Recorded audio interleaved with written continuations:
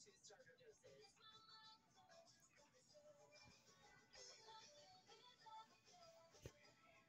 Serious allergic reactions and increased risk of infections or Numbers move you, but some can stop you.